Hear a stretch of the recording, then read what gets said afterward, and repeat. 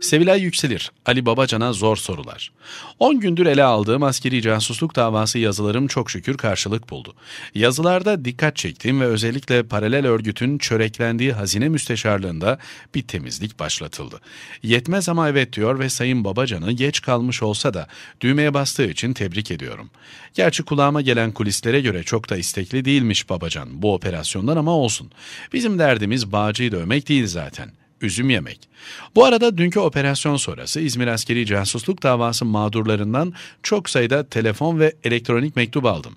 Paralel çetenin resmen ipotek koyduğu hazinedeki görevden almalar tüm mağdurlar için bir umut olmuş. İnşallah devamı getirilir ve haksızca, mesnetsiz iftira ve yalanlarla görevden alınan veya disiplin soruşturmasıyla sicili bozulup mağdur edilenlere hakları verilir. Bunlardan birinin mektubunu meselenin daha doğru ve iyi anlaşılması için dikkatinize sunmak istiyorum.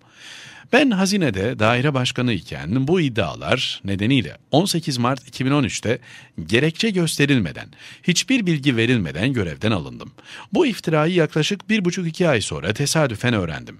Düşünebiliyor musunuz?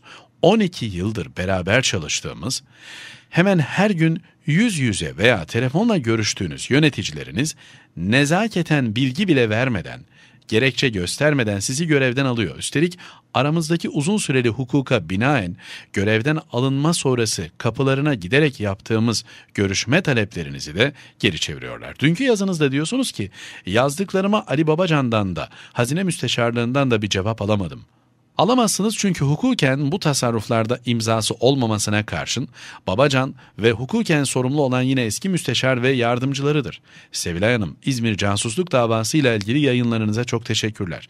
Yayınlarınız gerçekten çok etkili oldu ve şu anda hazinede kısmi de olsa bir temizliğe başlandı. Dördüncü kuvvet olarak medyanın gücü bir kez daha ispatlandı. Kaldı ki size bir cevap verirlerse de iddianame bize geldi. Biz de mevzuata göre işlem yaptık. Yaptıklarımız usulen doğrudur şeklinde olacaktır. Bunu nereden biliyorum? Çünkü BİMER üzerinden yaptığım başvuruya böyle demişlerdi. O cevap şimdi Başbakanlık Teftiş Kurulu'nda. Gelelim şimdi zurnanın zırt dediği yere. Eyvallah, Sayın Babacan geç de olsa gereğini yerine getirdi. Ancak sorun bitti mi? Biz şimdi nasıl olsa hazinede temizlik başladı deyip meselenin üzerine mi yatalım? Bu olmaz. Olamaz çünkü adil değil. Binlerce insanın telef olduğu bir davada işler tersine döndü diye hesap defterini kapatmak bize yakışmaz.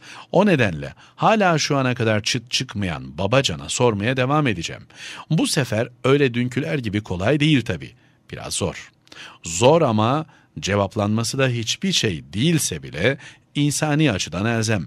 Ayrıca bu soruları ben kamu adına daha da önemlisi bu dava sebebiyle mağdur olmuş insanlar ve onların yakınları adına soruyorum.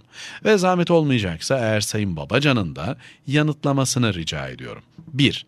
Neden diğer kurumlardan farklı işlem yaptınız? 2. Daha da önemlisi, hadi başlangıçta iddiaları ciddiye aldınız, bu kıyımı yaptınız ama iyi niyetliydiniz.